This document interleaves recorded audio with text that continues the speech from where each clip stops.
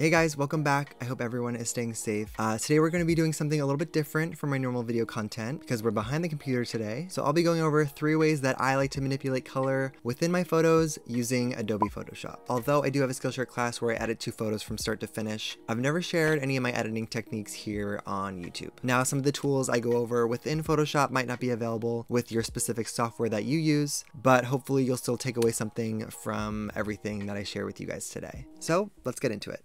Alright, so this is the photo that I chose to edit with you guys today. I thought it would be a good choice just because of the amount of colors there are to play with in this image. As you can see in this right hand corner, this layer is actually already a smart object. And that is because I already put it through Camera Raw and did some minor adjustments to the lighting, the shadows, the highlights, just to make it a little bit more visible for you guys. But Camera Raw is actually our first method of manipulating colors, so we'll be jumping right back into that in just a minute. Um, but if you're interested, this image was shot with a Nikon Z7 with a 35mm f1.4 lens attached. And I actually do like the colors that are already in this image, but I do want to play with them a little bit more and just get them exactly right. Like I already mentioned, this raw image was already put through Camera Raw, so all we have to do is click the Smart Object layer right here.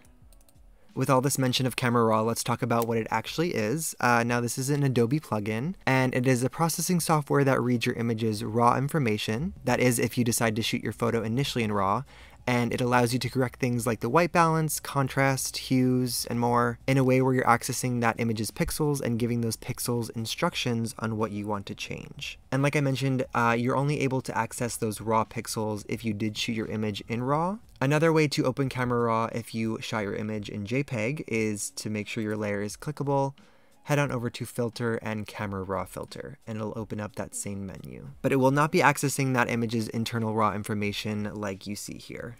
Now this is a fairly non-destructive way of editing depending on how much you want to push your image. If you head on up here you can actually just hover over these little icons and you'll see what Camera Raw offers us. So we have things like HSL sliders, split toning, lens correction, effects, calibration, and more.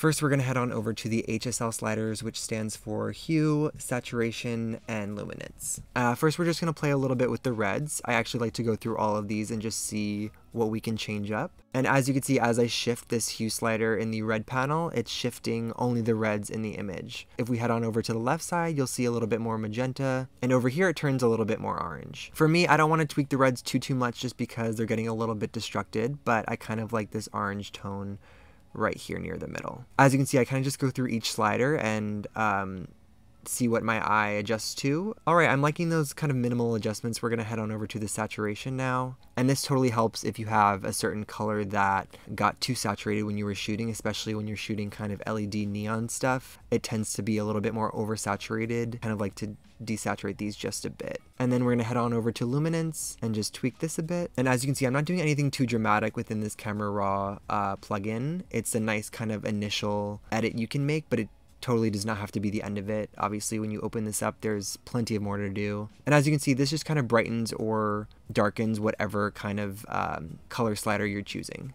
And before you open up this image, you'll just want to be sure to change this format into a smart object. So that way you can come back to the original changes you've made and change anything from there.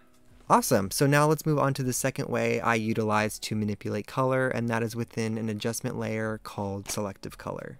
What I'm going to do quickly is just remove our previous color corrections we made in Camera Raw just so we can work with a pretty flat color profile here. Uh, by definition, selective color is a tool within Photoshop that allows you to cross blend your individual color channels using specific sliders like we just saw in Camera Raw. Now this allows you to ultimately choose a specific color or tone and add or alter the hues in which you originally see within your photo. This is another great way to make your reds more cyan or more magenta, however you please. How we're to access this is down here at the bottom of your layer panel.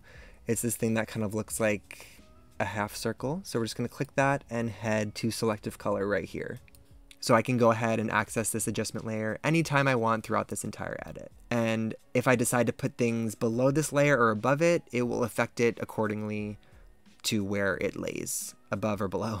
And just like Camera Raw, we have a lot of colors to choose from, and we even have white, neutral, and blacks that we can play with. So from here, we're just going to go through each color and tweak as necessary. As you can see, it's picking up a lot of cyan here, so this is kind of a big player within the color adjustments right now.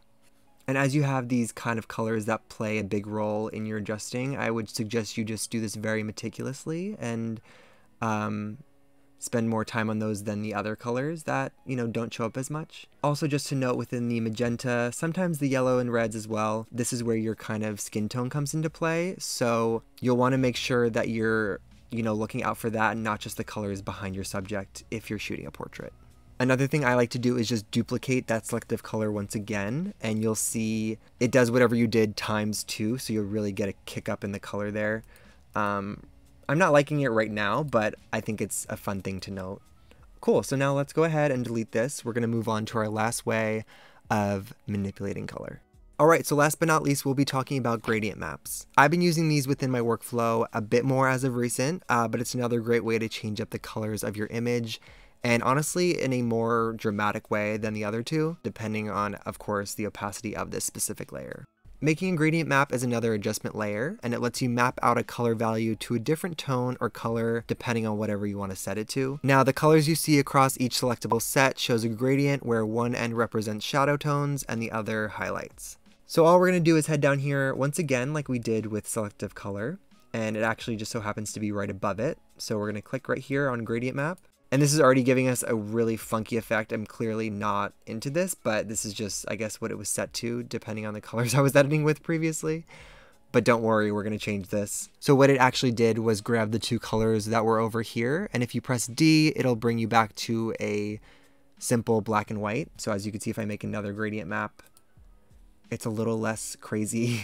and now this black and white is a really good representation of your shadows and highlights. So naturally you'd most likely want to choose a lighter color for your highlights and a darker color for your shadows. So whatever color is set there, you're telling those tones in your photo to turn that color value. So changing the shadow to a darker color, maybe like a dark magenta, will make it look a little bit more natural versus a bright pink like this. For me, I like to go with a soft light blending mode whenever I play with uh, gradient maps. Um, so what we're going to do is just quickly choose two different values right here. Let's go for a dark muted blue.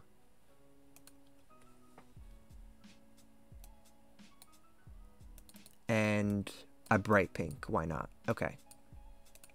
I like to think of soft light as a diffuse spotlight onto your image. Every color that is lighter than 50% gray will get even lighter, and every color darker than 50% gray will get even darker.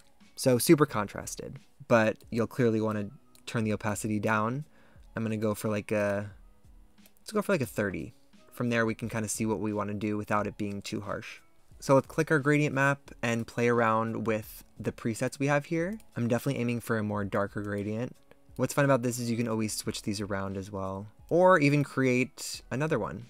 Okay, I could actually mess with this photo for hours, but to avoid that, I'm going to show the end result image here. As you can see, I did some further tweaks with the tones, the curves. I edited out a bunch of those little wires within the neon. So there you have it. I hope you guys enjoyed the end result and learned something throughout what I shared with you guys today. So if you guys are using any of these techniques or tools and want to implement them into your own work, be sure to tag me on Instagram or tweet me on Twitter because I'd love to see your results. Give this video a thumbs up if you enjoyed and would like to see more editing techniques and tutorials just like this one. But yeah, I hope you guys enjoyed and I'll see you soon. Bye!